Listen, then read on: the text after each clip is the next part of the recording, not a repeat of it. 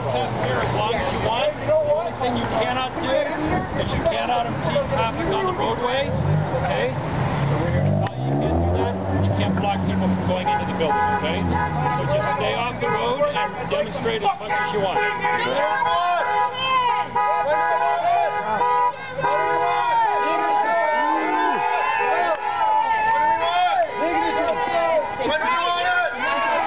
That's what Stacy said he's going to do drive by. into